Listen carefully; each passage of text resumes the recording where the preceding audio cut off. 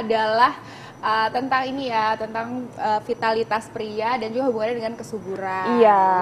Uh, ternyata banyak banget ya Yes. pengaruhnya usia tadi, kegemukan. Kegemukan terus juga ya. Hmm. Sebenarnya tapi nih sudah ada Dokter Samuel Utoro, spesialis gizi klinik. Halo dokter. Halo, Ya, ini dok banyak sekali pasti nih masyarakat-masyarakat yang ingin bertanya nih dok. Ya. Sebenarnya bisa disiasati nggak sih dok? Tadi kan ada tuh beberapa faktor yang memang kita tidak bisa menghindar, kayak Iya. misalnya usia. Usia, Ya. pertamanya Gitu. usia. Nah, itu bagaimana sebenarnya caranya untuk meningkatkan stamina dan juga vitalitas, terutama pada pria. Nah, tapi nih dok, banyak juga nih mitos atau fakta yang beredar di masyarakat. Kita bahas dulu ya. Yaitu yang pertama itu adalah konsumsi kopi Ya. pada pria itu dapat meningkatkan vitalitas. Fakta atau mitos? Ini fakta. Fakta. Nah, wuh. Jangan lupa ya ibu-ibu di rumah setiap pagi sediain bapak-bapaknya kopi. Gimana tuh, tuh, dok? Tapi seberapa banyak nih dok? Jadi gini, si kopi ini sebenarnya tidak langsung terhadap hormon pria. Hormon pria itu kan testosteron, ya. Tapi kopi ini mengandung namanya kafein. Kafein itu punya efek stimulan. Stimulan itu merangsang. Jadi prianya menjadi lebih segar, lebih bugar, ya. Dia lebih nggak ngantukan, dia Iya. lebih waspada. Jadi kalau ketemu dengan pasangannya, dia akan lebih mudah terangsang, lebih mudah timbul gairahnya, Oh, ah. karena tubuh dia terasa fit, terasa bugar. Gitu. Oh, ada ini nggak dok? Misalnya kayak racikannya khusus harus seperti apa? Misalnya mungkin nggak boleh pakai gula atau seperti apa? Oh, jelas. Yang jelas minum kopi yang terbaik adalah black coffee, kopi hitam. Oh, kopi tanpa hitam. gula, tanpa creamer, tanpa susu. Oh, oke. Ya, jadi kopi hitam itu kafeinnya bagus. Dalam satu hari nih dok mesti dikasih berapa cangkir nih? Ibu-ibu mesti ngeracik berapa cangkir nih buat pasangannya? Maaf ya dokter semangat ya. Semangat jadi saya nih ya. Bapak, nanti saya bikinin kopi. berapa cangkirnya? Jadi cangkirnya itu yang penting jangan berlebihan. Satu cangkir kopi kira-kira kafeinnya 80 mg. Sementara batas maksimal minum kafein satu hari itu nggak boleh lebih dari 400 mg. Jadi maksimal 5 cangkir. Cangkir loh, bukan gelas. Cangkir, oh, cangkir ya, ya. cangkir. Jadi yang bagus itu berapa ya? Pagi, siang, sore. Tapi Oh. hati-hati, Hmm. kafein itu tadi saya bilang merangsang, me- Hmm. menstimulasi. Jadi dia itu bisa nggak bisa tidur kalau minumnya kemalaman. Oh, Tapi iya, ada iya. juga orang yang tidur nah tidur aja minum kopi. Gitu. Iya, ada juga. Dok kalau penderita jantung tapi tetap boleh minum kopi itu. Hati-hati, Hati-hati. hati-hati. Jadi kalau buat penderita jantung lain lagi, ini kan jantungnya kalau bisa tidak terbebani. Sementara kafein itu akan membebani jantung, denyut jantungnya akan berdebar. Dan ingat, ada orang tertentu minum kopi walaupun sedikit dia akan berdebar. Jadi sebaiknya yang menderita jantung jangan minum kopi. Iya. Oke, nah dok ini juga banyak banget nih. Aduh ini umum banget ya, kalau katanya konsumsi daging kambing itu bisa meningkatkan vitalitas pria. Ini fakta atau mitos? Dokter, jangan Tapi jawab jangan dulu. jawab dulu. Pemirsa jangan ke mana-mana, tetap bersama kami hanya di Hidup, Sehat. Kembali lagi di hidup sehat. Nah itu tadi adalah olahraga-olahraganya ya. Nah, yang bisa meningkatkan vitalitas ya Yes. pastinya. Nah, tadi ada pertanyaan dari Intan nih ya. Iya Apa nih. Intan Nah, pertanyaannya? tapi sebelumnya kita mau kasih informasi buat pemirsa yang mau bergabung bersama kami, Yes. bisa langsung aja telepon ke nomor yang ada di bawah ini. Iya, bisa langsung tanya-tanya langsung sama dokter. Oke. Nah, kali ini gimana nih? Tadi ada eh, mitos yang beredar mengenai konsumsi daging kambing itu bisa Hmm. meningkatkan vitalitas pria. Mitos atau fakta, dokter? Itu mitos. Oh, mitos. Oh, mitos. Ya, jadi sebenarnya ini masalah persepsi. Jadi perasaan orang yang makan daging kambing. Iya, orang itu langsung jadi panas. Iya, Iya. katanya ngerasa panas. Itu memang benar karena daging kambing itu termasuk golongan daging Mhm. yang membentuk panas di tubuh pada waktu dia dicerna Mhm. maupun pada waktu dia di metabolisme. Metabolisme Mhm. itu diurai di dalam sel. Nah, itu membentuk panas Mhm. tubuh lebih tinggi dibanding daging yang lain. Nah, ini persepsi orang sebenarnya bukan hubungan ke gairah, tapi lebih ke hubungan panas tubuh Iya. yang disebut termogenesis, Termogenesis. Oh, membentuk panas. Nah, dia karena pikirannya udah rada-rada ke arah sana, jadi berasa langsung panas, lah ya. langsung pikirannya ini meningkatkan gairah. Jadi Sebetulnya- merasa hot gitu. Iya. Oh, jadi ternyata sebenarnya bukan karena Bu- kambingnya ya. bukan, itu Oh, dia. Karena mindsetnya aja emang Nah. dasar aja. Oke dok. Oke, selanjutnya nih dok, ini ada eh, di kita ada semangka, Semangka. nih, dok, Ya. ya, buah-buahan. Konsumsi semangka nih dok, katanya dapat meningkatkan vitalitas pria. Fakta atau mitos dokter? Fakta Fakta. Perempuan juga bisa nggak dok? lain. Oh lain. Perempuan lain. bukan semangka. Terus apa dok? Oh perempuan bukan semangka. Oh perempuan malah apel. Apel. gitu ya Iya. udah ini apel bagi apel. kenapa dok? Kenapa dok? Ini, ini kena- kenapa saya bilang ini fakta? Karena di dalam semangka itu mengandung zat yang namanya citrulin, mengandung likopen, mengandung beta karoten. Nah, si Antioksidan semuanya itu. antioksidan kuat semua yang akan melebarkan pembuluh darah, menjaga plak pembuluh darah, penyumbatan-penyumbatan. Tapi yang penting lagi citrulin itu. Citrulin itu punya efek melebarkan pembuluh darah ya dan dia kalau melebar pria itu gairahnya akan meningkat kalau aliran darah ke kemaluannya itu melebar. Oh. Dia akan melebar sehingga aliran darahnya lebih lancar pada saat itulah dia gairahnya akan lebih tinggi.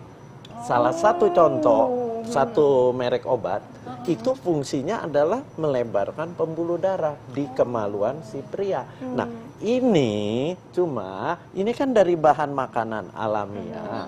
Jadi Anda nggak bisa cuma mau bertempur terus makan semangka. Bertempur. Nggak bisa. Iya dok, mesti berapa buah semangka yang disediakan? Lah, mesti rutin, Rutin, makannya. rutin. Kalau yang bahan makanan alami gini harus rutin. Jangan hanya sekali-sekali pada saat dibutuhkan dia baru makan. Percuma itu. Oh jadi harus continue ya dok. Iya. Nah, Ih, ini ada lagi nih banget. dok. Katanya Hmm. ini ada juga di sini kacang-kacangan nih dok. Konsumsi kacang-kacangan katanya dapat meningkatkan vitalitas pria. Mitos atau fakta dokter? Fakta. Fakta. Oke, ini Iya. saya bawa pulang dulu yang ini. Dokter Ani seneng banget. Gimana? Itu kenapa dok? Karena di kacang itu dia mengandung beberapa macam vitamin. Vitamin B6 itu akan meningkatkan gairah. Kemudian dia juga mengandung asam folat, meningkatkan gairah dan yang terpenting dia mengandung zat asam amino yang namanya arginin. Arginin itu punya efek memang akan melebarkan pembuluh darah. Yang tadi seperti semangka, pembuluh darah di kemaluan prianya melebar sehingga tingkat ketegangannya pun akan meningkat. Hmm, ini harus dikonsumsi secara rutin juga Secara dok. rutin, Secara- makanlah Oh, kacang-kacangan setiap hari paling enggak satu genggam Satu tangan. genggam gini. ya. Iya. Oke. Nah, ini setelah kacang-kacangan ada, ada- teh hijau. Nah, tapi ada cabai juga nih. Iya. Nah, ini sekarang cabai dulu ya. Oh, cabai dulu. Karena Baik, ini baik, baik. biar sama sama aku merah-merah juga. Dok, nih katanya mengkonsumsi cabai ini bisa juga meningkatkan vitalitas pria. Ini fakta atau mitos? Ini fakta juga Fakta karena juga. Sering nyambel? Sering nggak? Kita mesti nyambel ya, ibu-ibu. Kenapa sih dok? Kok bisa sih dok? karena dia mengandung satu zat yang namanya capsaicin. Oh, capsaicin. Itu punya efek memang satu antioksidan kuat, yang tadi saya bilang menghambat penyumbatan penyumbatan pembuluh darah. Kemudian dia punya efek juga akan melebarkan si pembuluh darah dan makan cabai itu memberikan rasa gairah. Itu yang paling penting lagi. Gitu. Iya. Perempuan bisa nggak dok? Kan perempuan juga banyak yang doyan pedes-pedes. Iya. Oh, Ibu-ibu kal- biasa doyan nyambel. Perempuan bisa, tapi lebih ke ra- ke rasa panasnya itu makan cabai. Oh, ini Iya. sebelumnya atau harus rutin dok? Ya harus rutin Oh, rutin juga. Ah, ah. Oh. Pokoknya semua makanan alami ini nggak ada yang bisa hanya pada saat tertentu kita makan terus kita akan timbul gairah nggak Hmm. ada. Ini harus rutin dimakannya. Oke, nah ini tadi sudah saya angkat nih dok, teh hijau. Ya. Konsumsi teh hijau katanya bisa me- meningkatkan vitalitas pria. Mitos atau fakta dokter? Fakta juga. Fakta juga. Karena dia mengandung zat yang namanya epigalokatekin galat. Hmm. Itu punya efek sebagai antioksidan kuat. Dan dia mengandung kafein juga. Artinya dia akan memberikan rasa segar, kemudian pembuluh darahnya semua akan terbuka. Pokoknya prinsip pada pria ingin gairahnya tetap terjaga, aliran darah ke kemaluannya harus tetap terjaga.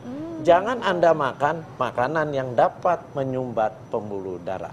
Itu kuncinya. Oh, nah dok, aku pengen nanya deh dok, aku denger banyak banget nih berita beredar. Katanya orang-orang yang suka ngerokok, misalnya rokok-rokok mentol Ya. gitu, itu bisa membuat orang jadi impoten. Ya, Itu fakta atau mitos? Dok? Benar sekali. Ini fakta, Fakta. bisa impoten. Karena rokok itu mengandung nikotin. Kemudian mentol itu min. Itu akan menekan produksi testosteron. Nah, sementara si nikotinnya akan merusak dinding pembuluh darah. Sehingga apa? Aliran darah ke arah ke daerah kemaluannya akan terganggu. Kalau dia terganggu, kan nggak bisa gairahnya nggak bisa timbul. Dan dia pria itu yang penting adalah tingkat ketegangannya. Iya betul. Oh. Nah lanjut nih dong ngomongin min. Ini min, ini kita agak semakin tegang ya ngomongin. Dok, ini tadi ngomongin min. eh, kalau misalnya konsumsi daun min itu katanya bisa meningkat, eh menurunkan vitalitas pria. Mitos atau fakta dokter? Itu fakta, Fakta. menurunkan. Oh. Iya, kalau daun min atau min yang sudah diekstraksi itu memang akan menurunkan gairah. Oh, Ya. jadi emang itu juga berarti harus dihindarin ya dok, jangan Ya. banyak-banyak kalau Ya. mengkonsumsi daun mint. Ya. Oh, Yang lebih parah yaitu rokok yang rasanya min. min itu malah justru makin parah lagi Itu. ya dok ya. Nah, Oh. satu lagi nih dok, berarti ini yang tadi apel Wanita. nih dok. Konsumsi apel bisa dapat meningkatkan vitalitas pria. Mitos atau fakta? Kalau dokter? pria nggak ada hubungan mitos, mitos, tapi ini ya. lebih ke arah wanita. Wanita, Wanita. malah justru. Iya, ya. kenapa? Karena dia mengandung yang namanya pitoestrogen. Pitoestrogen itu hormon pada wanita yang akan meningkatkan lubrikasi di kemaluan wanita. Oh. Lubrikasi itu dia akan lebih mengeluarkan lendir, Iya, ya. betul. Itu.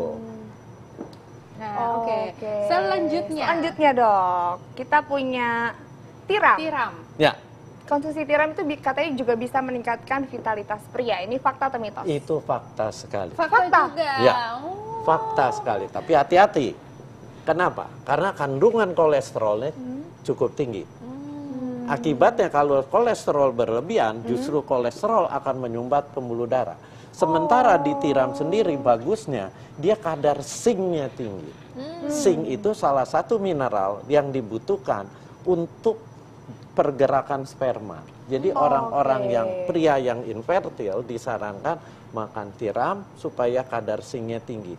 Tapi di tiram itu untuk meningkatkan gairah dia mengandung yang namanya N asetil aspartat. Justru Oh. itu bagus untuk meningkatkan gairah. Gairah. Kenapa? Oh. Karena dia produksi hormon testosteron yang akan meningkat, kemudian pembuluh-pembuluh darah akan mudah melebar. Hmm. Oh gitu. Tapi kalau misalnya yang udah jadi ini dok kayak saus tiram gitu, itu ngaruh juga nggak dok?